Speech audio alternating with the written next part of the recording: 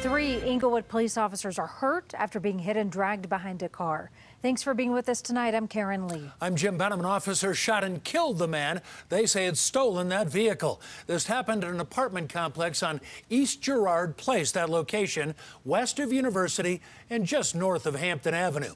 CBS 4's Jacqueline Quynh has been gathering info all day. Jacqueline, what a scary situation for residents.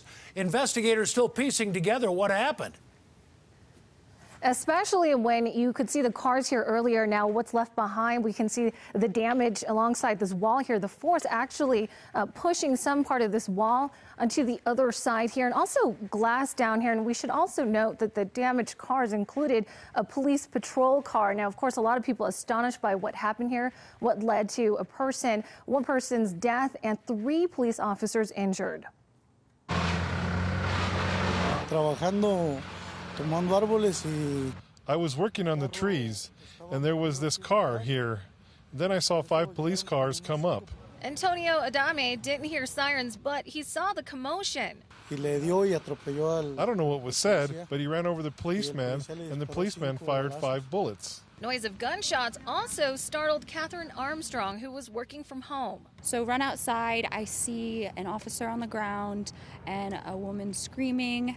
This happened just before 10:30 this Tuesday morning. Englewood police received a call of a suspicious vehicle.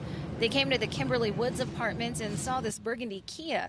They ran the plates and it turned out to be stolen. Englewood PD tells us uniformed police officers tried to make contact with a 22 year old man driving the Kia. Shortly after, he hit and dragged three officers.